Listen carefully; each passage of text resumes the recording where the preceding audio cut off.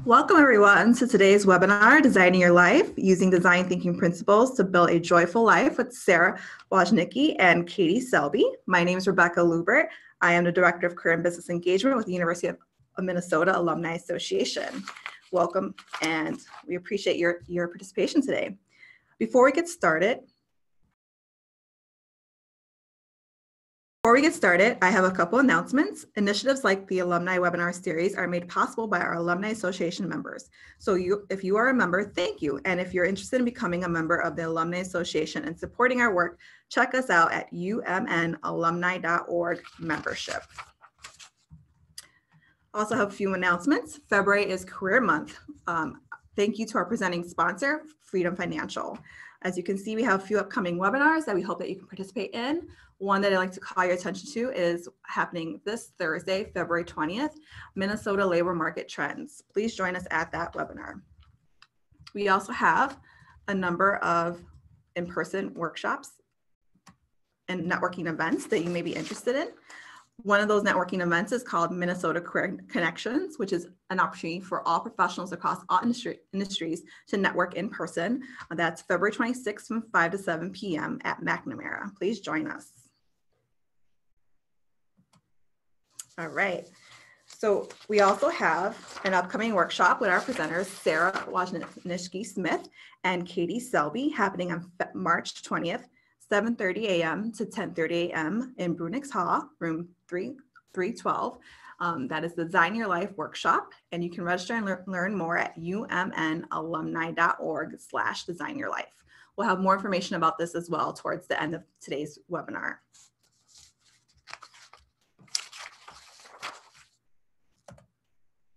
And if you're tuning in right now, you can also listen by phone at, and, that, and you can see it on your screen. There's some dial in options as well as the information to enter the webinar ID.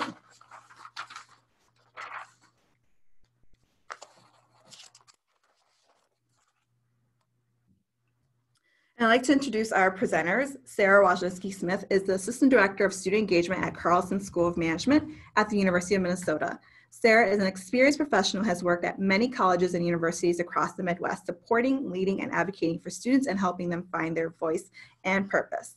Our next presenter is Katie Selby. Katie Selby is, a, is an, a U of M alumna with a Master's of Education from the College of Education Human Development. She has been coaching young professionals through career and life transitions for more than 20 years through her roles as a career coach, college recruiter, and leadership educator. Katie is a is founder and principal coach of Quarter Life Coach LLC, where she coaches her clients in their own life design. She previously served as Director of Student Engagement and Associate Director of the Undergraduate Business Career Center at, at the Carlson School of Management. Now we're going to let get started and let our presenters take it away from here. All right. Thank you, Rebecca, and hello to everyone who's joining, joining us online. We are really excited to be here and to share the concepts of life design with all of our alumni friends. Um, so we'll get started and talk a little bit about um, some context. So Designing Your Life is a book written by Stanford design educators Bill Burnett and Dave Evans after more than 10 years of teaching courses in the Stanford Design School, both in product design and in life design. These authors found that students often came to their office hours with questions about career preparation, decisions about graduate school, and other big life questions, not just questions about their weekly class assignments. The authors developed a step-by-step process using the backbone of, of design thinking to apply to our own lives. The same design thinking responsible for new products and technology can be used to design and build your career and your life. They emphasize that you don't need to know your passion to design a life you love. This book has been a New York Times bestseller and has been popular at all stages of life, especially college to career, midlife, and those designing their encore careers into retirement. We'll tell you a little bit about our story and how we found designing your life. You'll see in our slides a few times, or when we're speaking, we might say DYL, and that to us means designing your life. So that's our only shorthand for you. Last year at the Carlson School undergraduate program, we were looking to build a new program to increase resiliency, reflection, and self-efficacy for our students and to help them reframe some dysfunctional beliefs about college and career success. We chose to build a comprehensive first year experience program for from summer orientation through fall semester, all based on the book Designing Your Life. And last year, all first year students received the book and attended workshops to walk them through the life design process.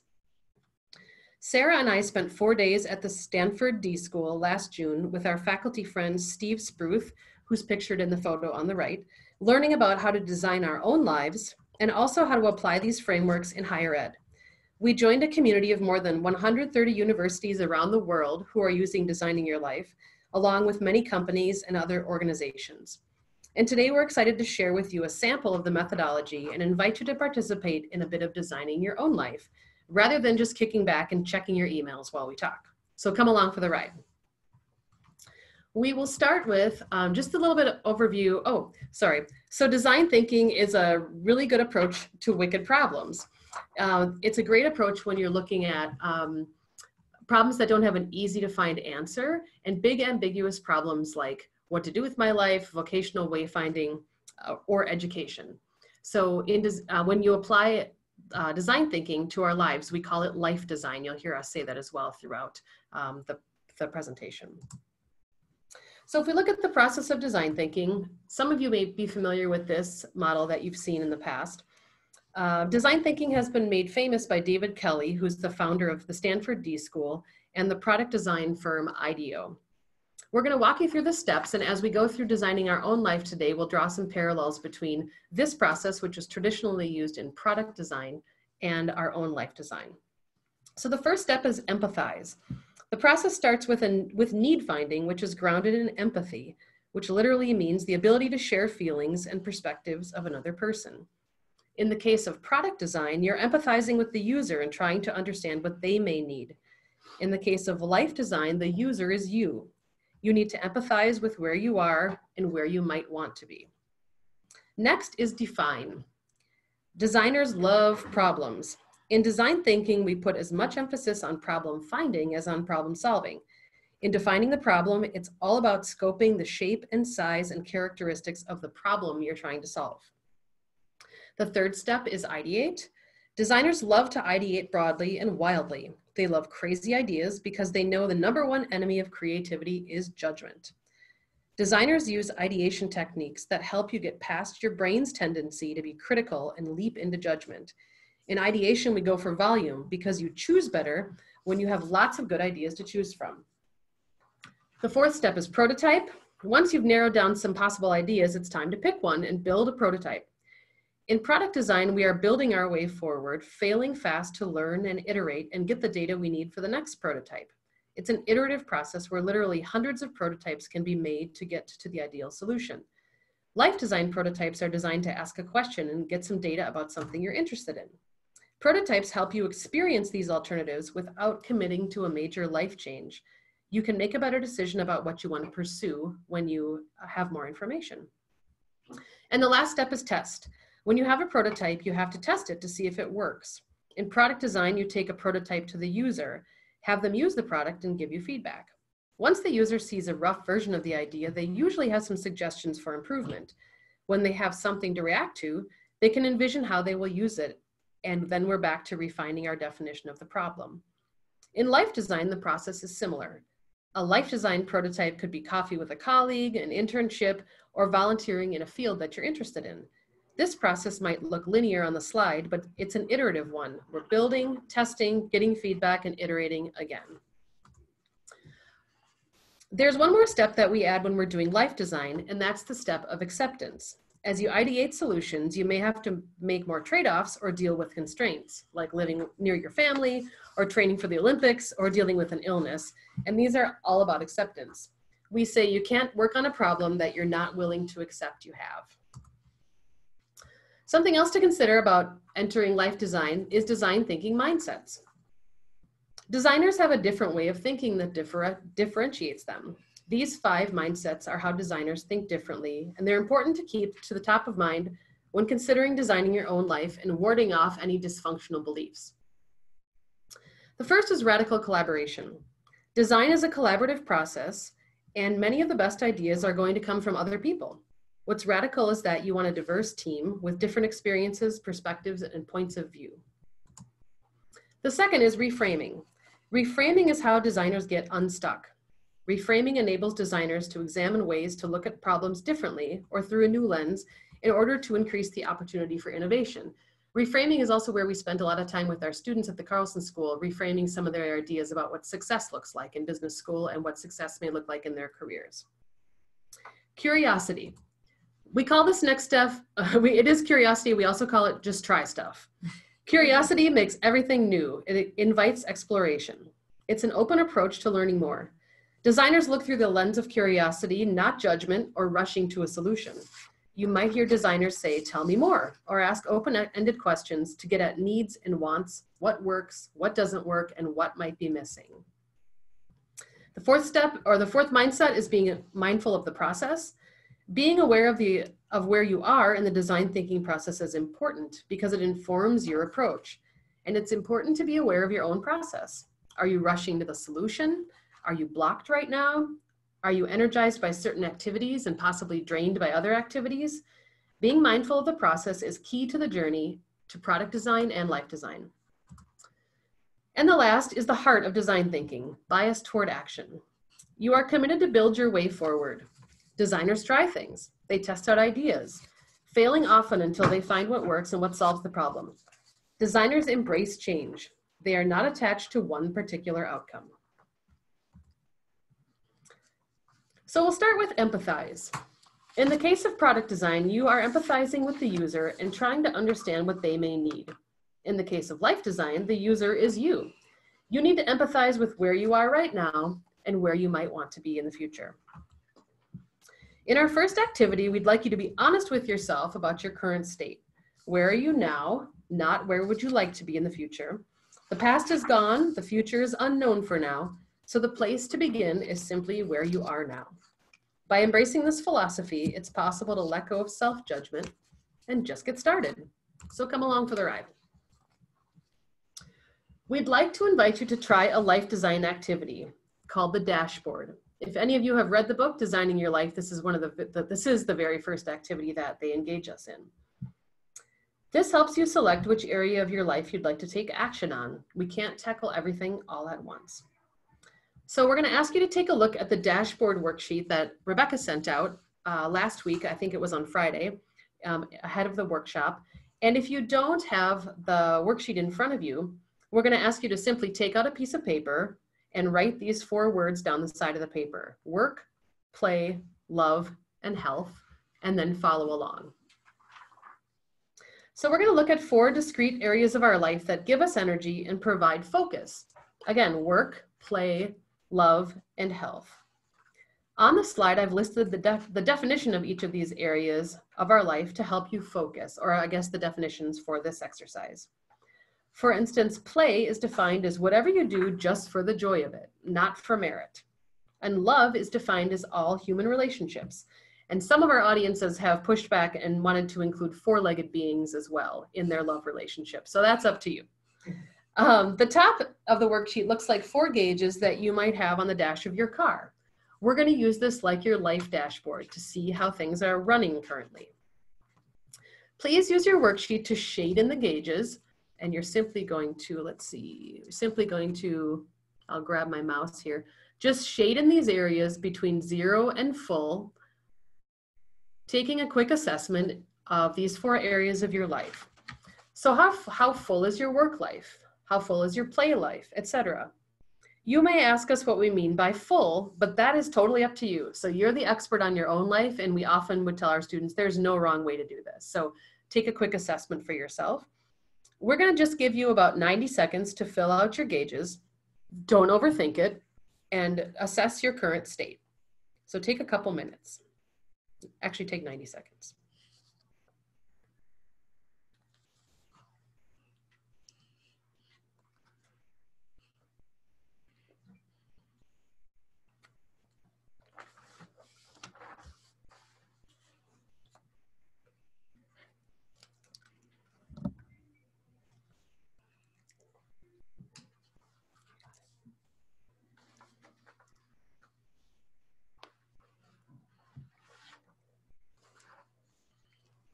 Also take a couple minutes to write in the lines below what's going on in each area of your life that may have led you to choose how full it was. So what's going on in your work, play, love, and health in the lines below your gauges.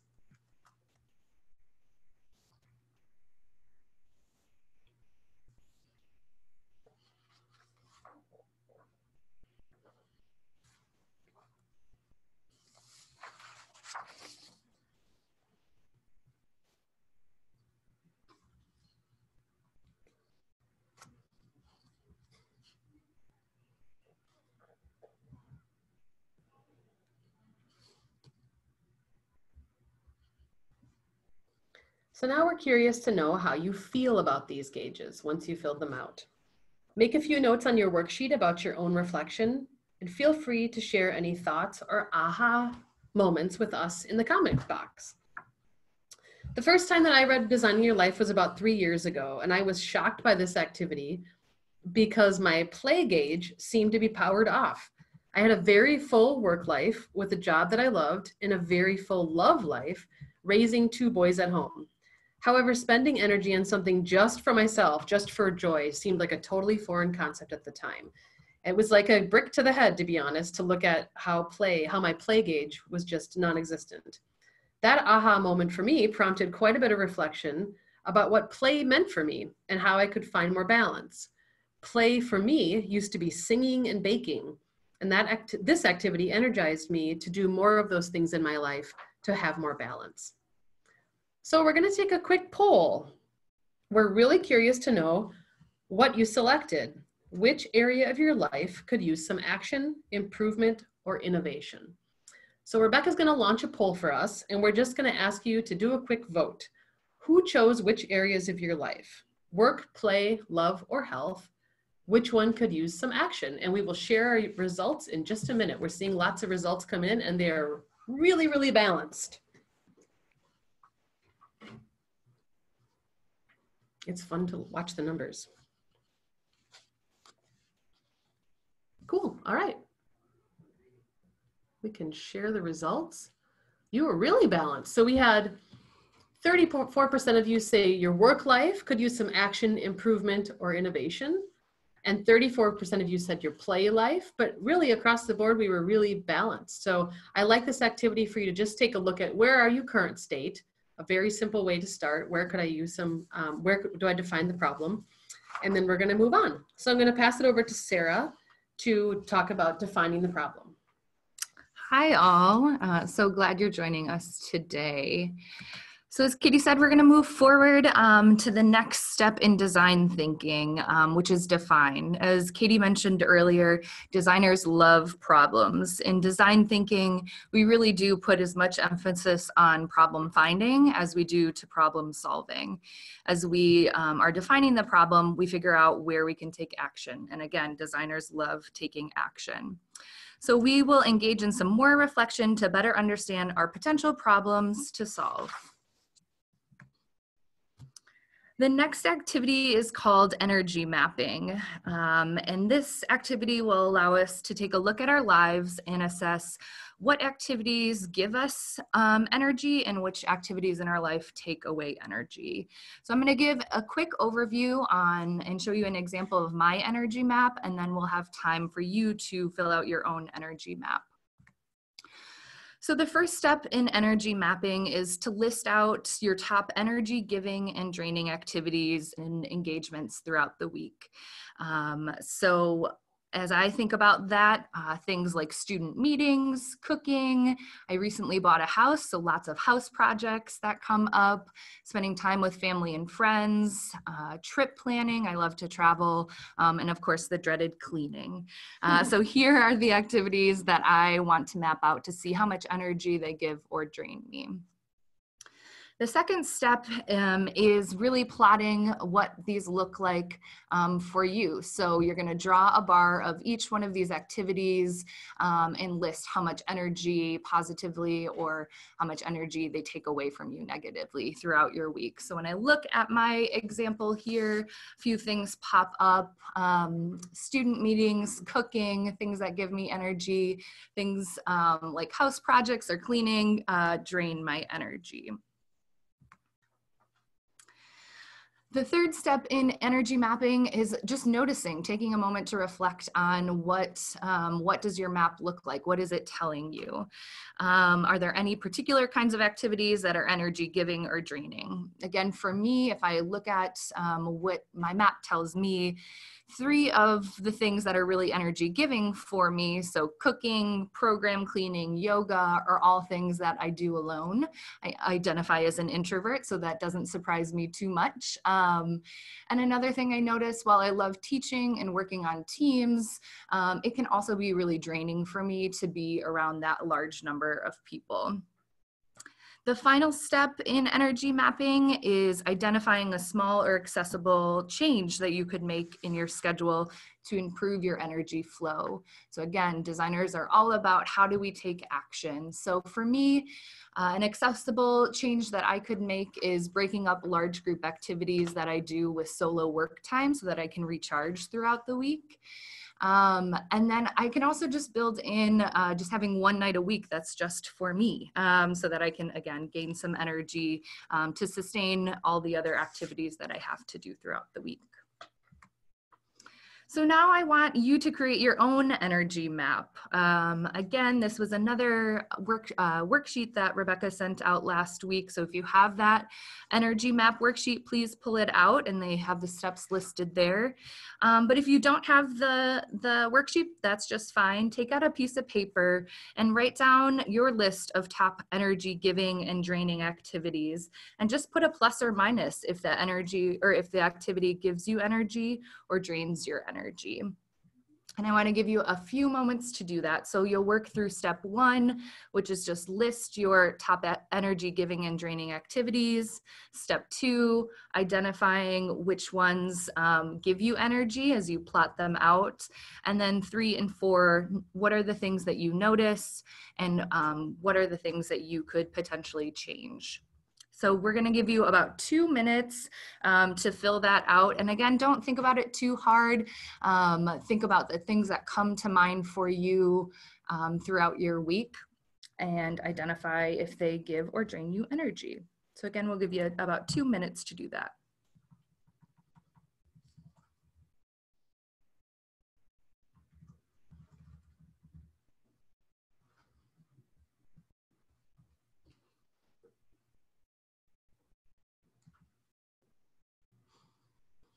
So I um, see some questions that are popping up about how um, it's mapped out. So I'll talk through that as you are identifying. So there are some activities that I have listed here that both give me energy occasionally, but also drain energy. So as I think about program planning, that's one in particular that um, it's kind of 50-50 at times. It can give me a lot of energy, especially when I'm, I'm working and I'm ideating on my own.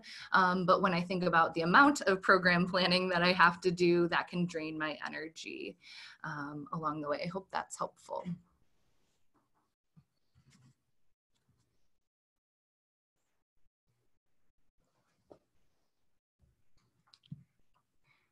We'll give you about another minute or so, map out those activities. And again, you can move forward. Um, if you're finishing up in the chat box, you can share an insight that you have or an accessible change that you're considering. Again, my, my insights from my own map were um, all the things that I um, or that give me energy are things that I do alone. I think that's helpful to know. Um, and then being around too many people can also be draining energy from me. So again, another minute or so, map that out and identify and notice any um, incremental changes that you can have.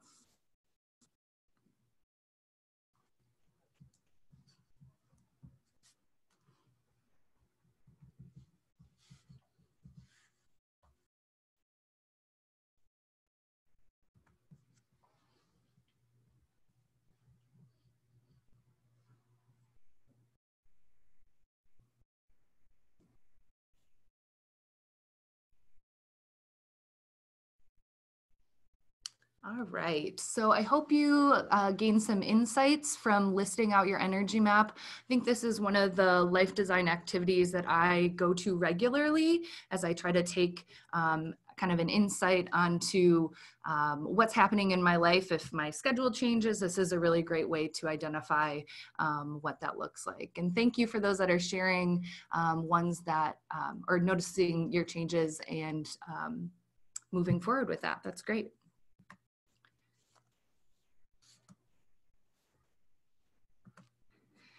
And if I could just leave you with some takeaways about the um, energy map, uh, mapping your energy gives you a better sense of your engagement. Um, for some of you, the sequence as you were mapping um, might be particularly important. Think for me, there's definitely a correlation between energy, engagement, and meaning. And then you can use this awareness of flow and energy to design your life. It really gives you um, a sense to move forward as you are starting to design your life or redesign your life. Now we want to focus on what brings you alive. Uh, in life design, we talk about following what engages and excites you. And so we're going to move forward to that. The next um, part is focusing in on ideating. Um, so the this is my favorite step of life design. It's where we can be curious um, and uh, really focus in on what designers like, um, looking at those problems and moving forward and ideating on those. Um, so I, um, so you just did some self-reflection um, and I wanna show you how you can ideate on those reflections moving forward. One way to ideate is by mind mapping. Some of you may have already um, been familiar with this practice, but mind mapping is a way to ideate by yourself. As we just identified, I really enjoy doing things by myself, so mind mapping works well for me. Um, mind mapping relies on visual, semi-random word association to access the intuition that you have. It can be used to generate lots of different alternatives. And to choose your best ideas, you want all of your ideas which then will turn into positive action. Again, the designer mindset is all about um, kind of putting out all the ideas so that you can get your best ideas. We have a quote here that it's easier to tame down these wild ideas than think up. Um, and I think that is, uh, mind mapping is a great way to do that. So while we won't have time for you to build your own mind map today, I just want to show you an example of how you could um, do this on your own time. It's fairly simple, but again, I think it shows you a lot of insights as you move forward. So I'm going to build my mind map off of something that I, I identified in my energy mapping um, that brings me lots of energy, which is trip planning and travel. So when I think of travel, my brain goes to personal travel, work travel, and volunteer opportunities.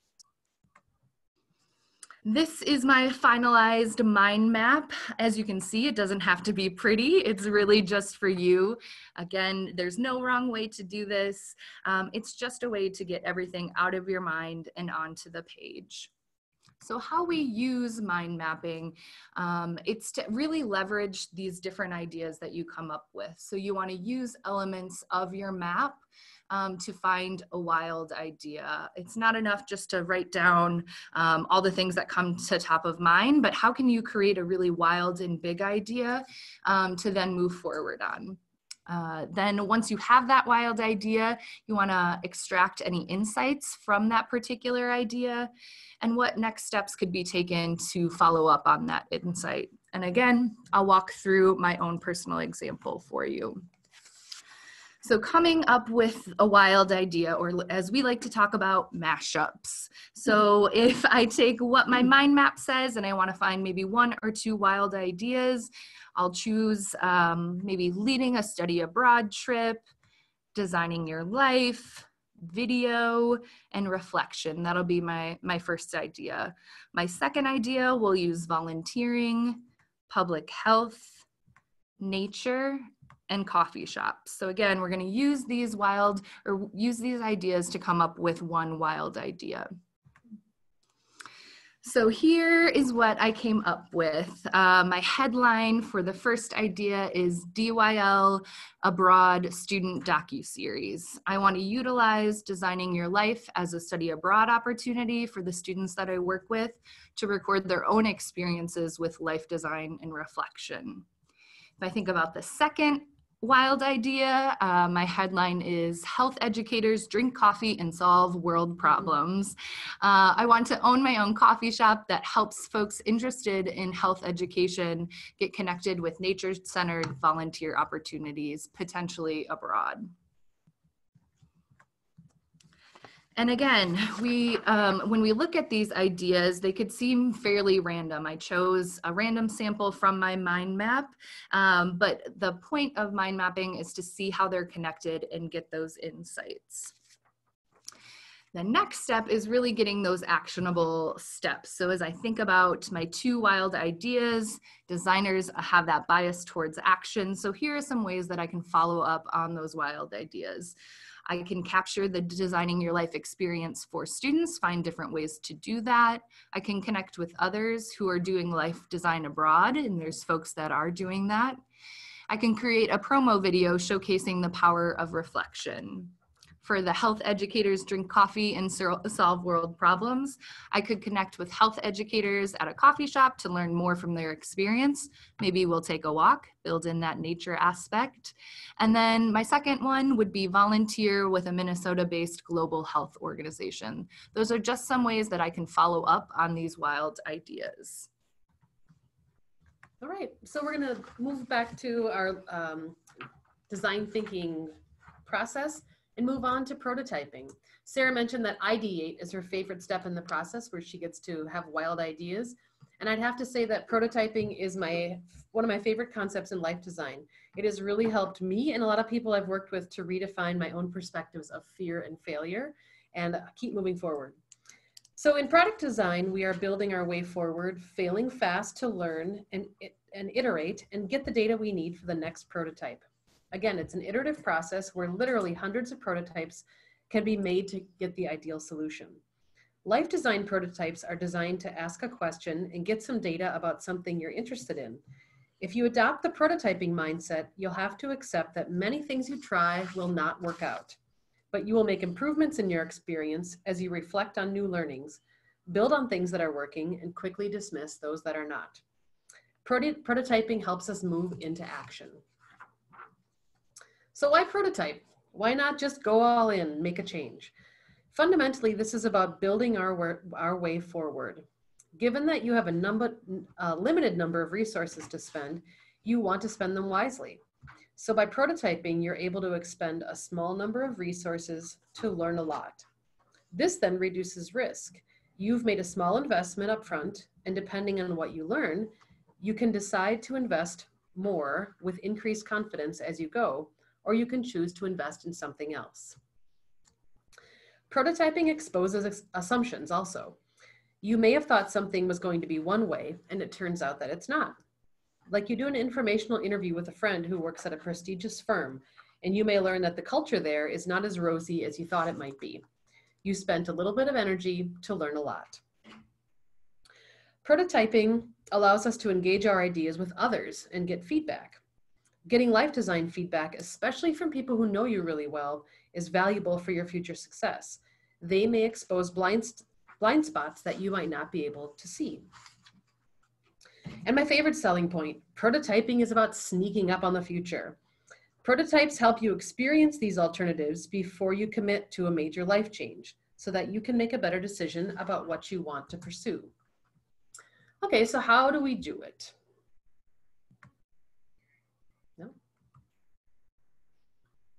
My slides are not moving forward. There we go. So how do we do it? A good prototype is all about return on, in, return on investment. You want maximum learning for minimum investment. So the best prototypes are inexpensive in terms of financial outlay. They're fast to implement, low time investment, and they're really accessible to you. In life design, we say that good prototypes cost you less than 20 bucks and less than two weeks, and they are easy to get started. Fundamentally, prototyping is about learning. So we like to think of life design prototypes in two buckets, conversations and experiences.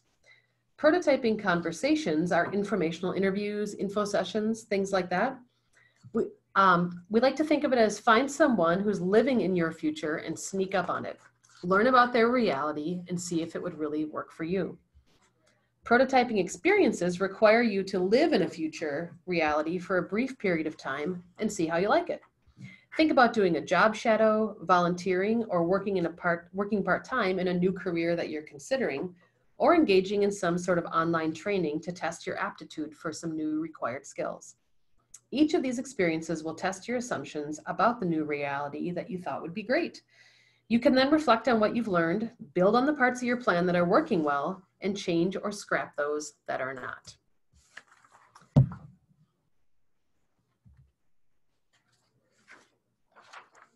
So let's take a look quick at uh, Sarah's process. If we look at Sarah's example of um, designing your life abroad student docu-series, she could get a clearer picture of what prototypes she could experiment with by doing a couple things. First, she could schedule a call with another university who is using life design. She could also ask a student who's studying abroad to try the Designing Your Life framework with their experience and gather feedback. She could write a draft of the docu-series, or she could create a 60-second docu-series about one of her own trips to experiment with video production. Those are all things that could move her into action and be done in the next two weeks in order to move her plan forward. Just as a reminder, think about life design as an iterative process. Uh, life design asks you to involve others in your process, build on, build on the things that are working, or take small learning steps toward your goal reflect on each prototype, fail small, early, and often to succeed sooner, and learn about an experience before you make a major investment or a major life change. So as you think about areas of your life that you'd like to redesign, keep the design, these design thinking steps in mind. Consider that the career you designed for yourself maybe two years or five years or 20 years ago may no longer meet the needs of the market or the needs of the primary user who is you? This process helps us to introduce fresh idea, ideas without judgment and gives us a roadmap about how to get going.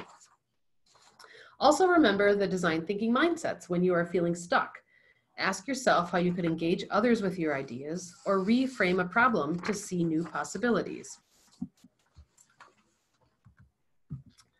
Uh, for those of you that want to engage more with life design, we want to invite you to our Designing Your Life workshop. As Re Rebecca mentioned, we will be offering, Sarah and I will be offering Designing Your Life workshop through UMAA on Friday, March 20th on the Twin Cities campus, where we will dive much deeper into life design activities, including we're gonna have you create a three parallel five-year plans for your life. And we'll also have you um, get feedback from other people about your prototyping plans and share ideas for other people's plans as well. I see this workshop as a gift of time to yourself to reflect, think big, and engage your ideas with others. This will certainly be a participatory, participatory workshop, so come ready to engage. If you're interested in joining us, please follow the link at the bottom of the slide to register. Also, if you're interested in learning uh, more about designing your life resources in general, we wanted you to have these resources. So the first is the original book called Designing Your Life, a step-by-step -step guide to apply these tools in your life. Um, Dave Evans and Bill Burnett also have a new book that's being released one week from today. So this is excellent timing called Designing Your Work Life. It's available for pre-order right now, but it's released next Tuesday, February 25th. If you are someone who likes to follow along prompts and kind of work through activities in a journal format, there's something called the Designing Your Life Workbook available that I have gifted to many, many friends and colleagues in my life. Um, and then designingyour.life is the website where you can find more workshops, tools, uh, social media connections, and also a blog where people are writing stories about, about their well-designed lives. So that's it for us. So now we want to know what questions do you have or any comments that you have on how you think this could be useful to designing your own life. Please share them with us and we will do our best to answer questions.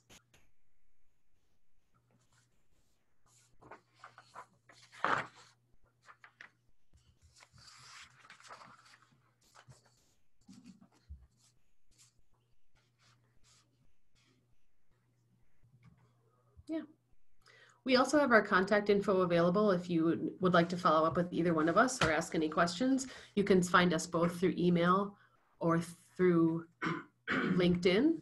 Um, we're having some questions coming in. Will we be providing the slides? A couple people have asked if we'll provide the slides.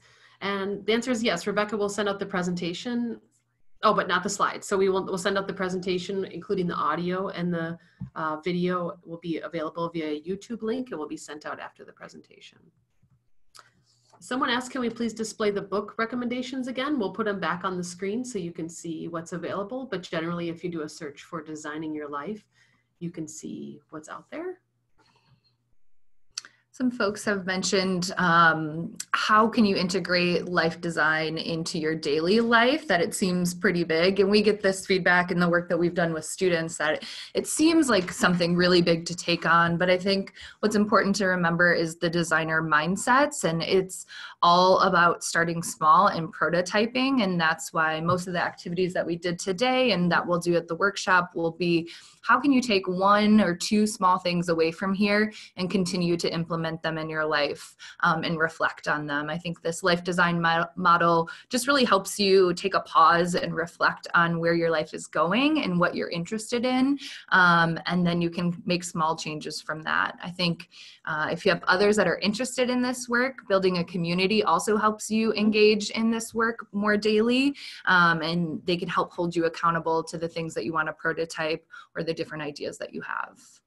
Somebody's asking, would it be useful to work on designing your life with your partner? And so um, about doing this work with your husband, I think it would be really interesting to do it alone, like individually, and then share your results, especially as we're going to work on uh, designing your five year plans in our workshop. That may be something interesting to do together to look at future um, possibilities for your lives and just get out of the out of the notion that there's one right way to do everything and get into those wild ideas and brainstorming about what could the future look like and what could you create together. Uh, what's one example of a small change you can make best based on the activities? We've seen a lot of people make a lot of small changes in their lives based on how they spend their time or their energy. Um, one energy suck that we hear from people quite a bit is their commute back and forth to work. And so people will say things like, I could listen to audiobooks on my commute, or I could talk to a friend on my commute if those relationships are suffering. Um, so those are a couple examples, but we've sure we've certainly seen a lot of people make a lot of small process, small changes, including maybe what time they get up in the morning or spending time by yourself. Mm-hmm. Uh, one of our colleagues decided to start holding an hour at the end of her day in the afternoon for email and administration time because she was feeling overwhelmed by that and she was planning it in her day um, to make that more manageable. So there are a lot of small things that you can do, um, small changes you can make to preserve some of your energy. Somebody has a question about mind mapping process and how you start and engage with that. And really, what I love about mind mapping is that you can do it at any point, any white piece of paper that you have. It really is just a way to brainstorm. And like I said, a way to brainstorm by yourself. I think the process that we walk through today is how do you take what ideas you have on the piece of paper and make something come from it. But really for me it's a nice reflection point to say okay how how am i uh, if i take a, t- a particular topic how are these things connected? Or how can i expand ideas past this? It's about being curious and seeing where your mind takes you and then being able to pull some of those things together. I also think doing the mind map alone and then working with somebody else and talking through it can also help you kind of find insights that you may not have already um, seen yourself. Someone also asked if we covered the test stage, and for me, the test stage is um, the what you learn from your prototype. So you you come up with prototypes and you test them, you see if they if you like them you see if they work see if you want to move in that direction further or if you'd like to kind of scrap it and move on let's see so i would say for many of you are asking um, deeper questions about the activities in the book or, or um, how you can apply this i would of course i would recommend purchasing the book um, or purchasing the workbook, whatever works for you. And there's a quite a lot of information online of people who are doing really great things in this mm-hmm. um, framework and mindset. All right. Well, thank you, Katie and Sarah, for this great webinar today on designing your life.